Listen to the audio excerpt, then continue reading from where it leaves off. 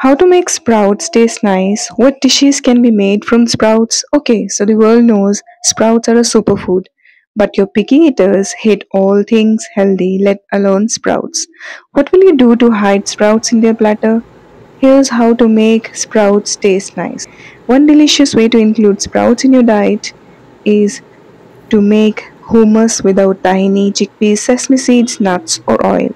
The star of the show is tawa roasted carrot and mung bean sprouts. For this Indian sprouts recipe, you will need 2 carrots, half cup of mung sprouts. Now, how do you make easy sprouts at home? If this is your main query, then find an easy way to sprout anything at home on this channel. I have posted an easy mung sprouts recipe at home along with millet sprouts, chickpea sprouts as well. You do not need a cloth to make sprouts. Sounds interesting? Please find the sprout making recipe link in the description. To make sprouts hummus without sesame seeds, you will also need a dash of lemon, black salt, thick curd. If you want to make it vegan, try the easy Indian hummus without tahini recipe with a vegan alternative. Now let's start making hummus without chickpeas, sesame seeds, tahini and garlic. To begin with, let's roast carrot first. You will you may try with beetroot as well. I have done both and loved the end result. I choose to roast carrot on tawa or skillet with some amount of salt. I roast potatoes the same way and have learned it from my Uriya MIL.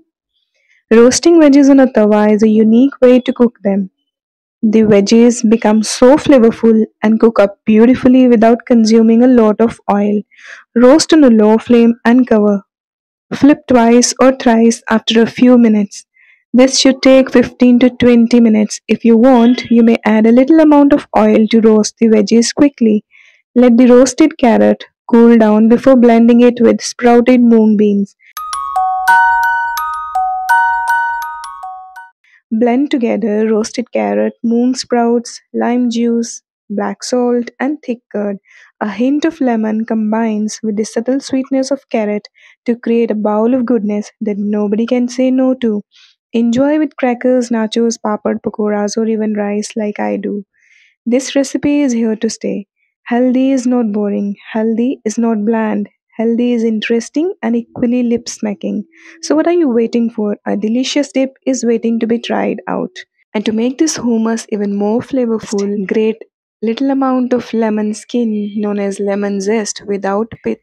I hope you enjoyed this recipe. If you did, please do not forget to share it with your friends and family.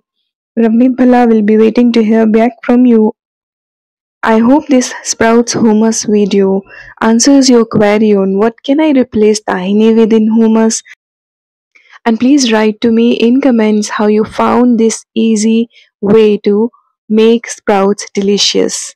Take care, bye bye, see you soon with yet another healthy and delicious recipe. Healthy is of course delicious and health delicious. Take care, bye bye, see you soon.